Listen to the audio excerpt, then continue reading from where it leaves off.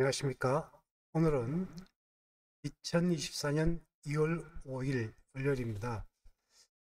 오늘 이곳 농장 날씨는 비와 눈이 오락가락하는 그런 하루의 날씨입니다. 그래서 오늘 원래는 날씨가 좋으면은 어, 자두나무 가- 전정 가지를 좀 어, 정리를 하려고 했는데 하지 못하고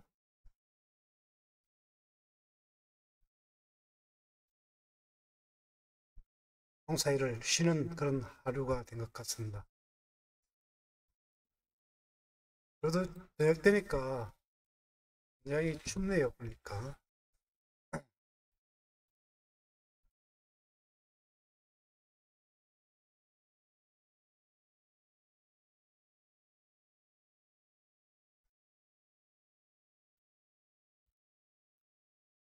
오늘은 어제 포크레인 작업을 한 그런 하우스를 한번 가봤습니다. 가봤는데 비가 와서 그런지 벌써 뚝이 무너져 내리고 용수로 관을 통해서는 호스로 물이 나오고 있더라고요.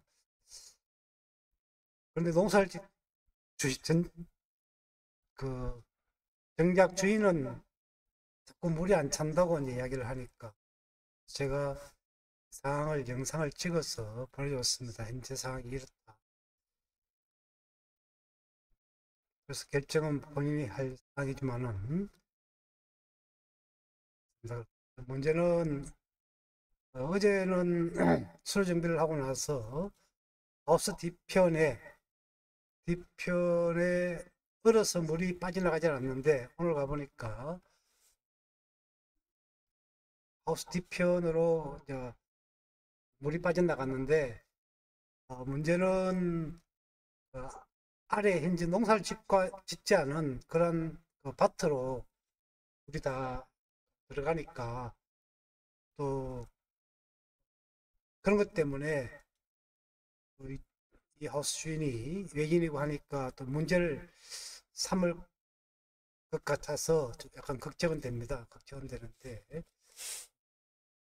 시골은 가- 가지고도 또 예상치 못했던 인정거리가 만들어지기 때문에 그런 것 없이 원만하게 잘 처리가 됐으면 하는 그런 바람입니다.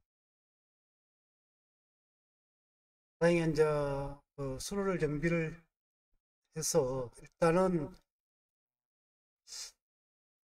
농로로 그 물은 넘치지 않을 것 같습니다. 그렇지만은 옆에 토사가 더 막으면은 계속 퍼내야 되겠죠. 그러다 보면은 뭐 관을 설치를 하지 않으면은 결국은 농지가 유실되는 부분들이 있는데 그런 부분들은 어제 장비 기사가 충분히 설명을 해줬으니까 하우스 주인께서 잘 알아서 판단을 하리라 믿습니다. 음, 오늘은 또 인천에 있는 그 인천에 근무할 때에 아는 지인 그 후배랄까 동생이랄까 하는 친구가 전화가 왔습니다. 아마 나이가 들고 어, 지난 장- 어, 지난달인가 부친이 돌아가셔가지고 저는 이제 귀농을 할 계획이라고 하더군요. 농에 대해서 저희 농장에도 찾아오고 상당히 깊이 이야기를 나누고 했었는데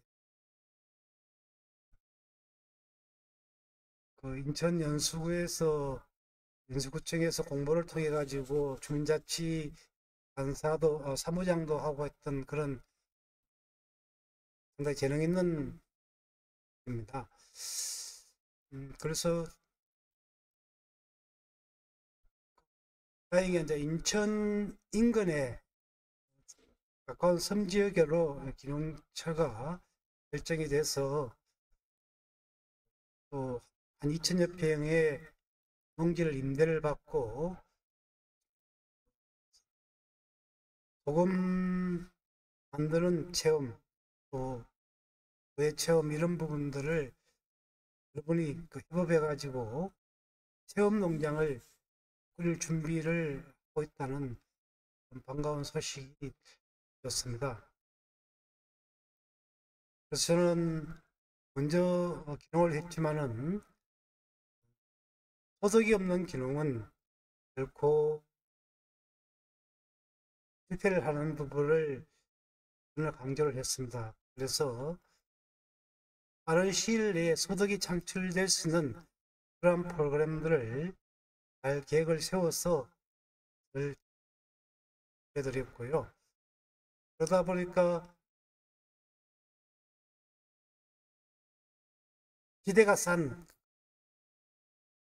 외곽집보다는 수도권에서 먼 곳보다는 다소 기대가 비싸더라도 수도권 인근에서 이용을 해서 정착을 할 것을 보내줬는데 다행히 군도 그런 취지에 맞게 계획을 잘 세워서 차근차근 일 잘하는 것 가지고 다행이라는 그런 생각이 들었습니다.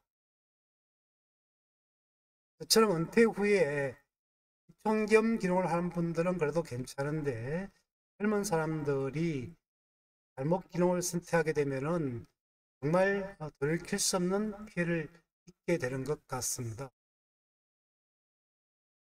지금 제가 그 하우스 같은 경우도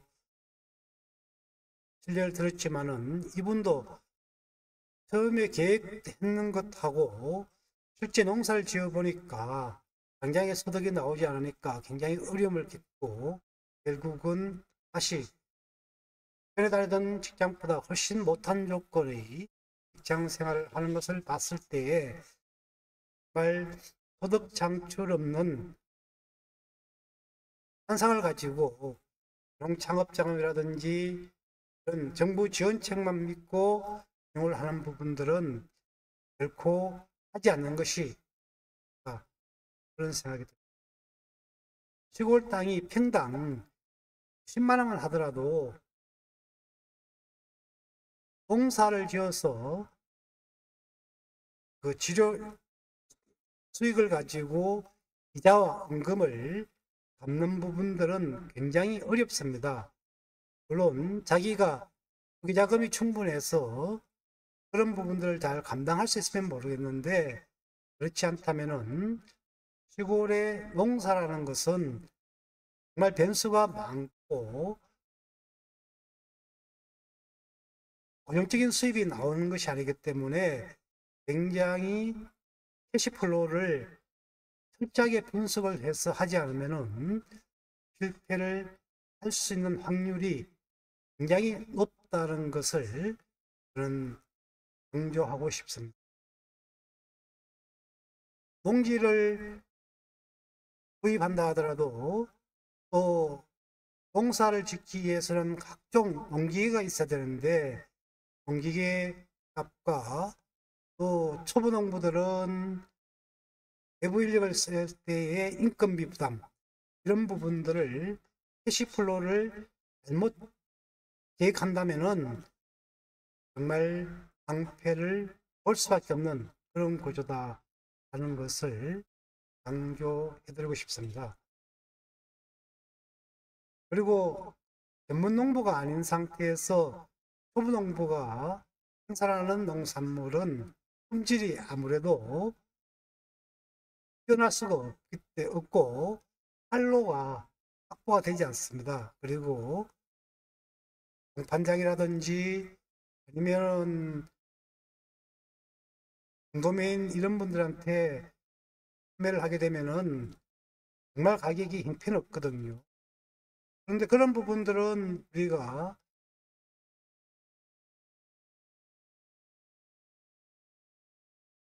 거래를 한다고 하더라도 결국 우리가 각종 공간 매체 그러니까 뭐 옥션이라든지 쿠팡 또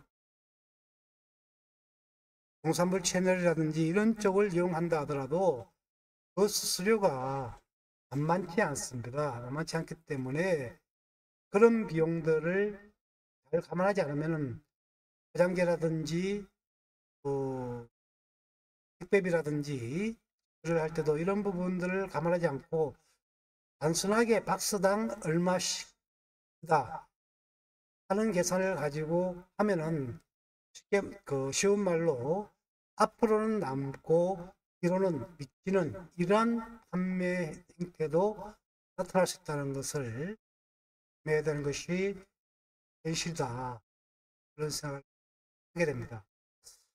아무튼 오늘 저에게 전화를 한 동일부 사장님도 충분하게 오랫동안 고민을 하고 계획을 세웠던 분이기 때문에 성공적인 운영이 될 수 있으라고 어, 하기를 합니다. 그리고 본인이 인천에서 오랫동안 생활을 했기 때문에 지인들이라든지 인력 인프라 이런 분들의 도움을 받을 수 있는 부분, 부분이 굉장히 큰 장점으로 어, 작용을 하리라고 생각됩니다. 그래서 처음에는 김천으로의 기능도 제가 건, 건해드리려고 했지만은 제가 농생을 해보니까 다소 처음에 초기 부담이 김천보다는 많이 들더라도 수도권 인근에서 이용을 하는 부분들이 훨씬 낫겠다 하는 그런 생각을 했습니다. 아무튼 오늘 황자배 농은 그 방송을 들어주셔서 감사드리고 앞으로도 많은 관심과 응원 부탁드립니다. 고맙습니다.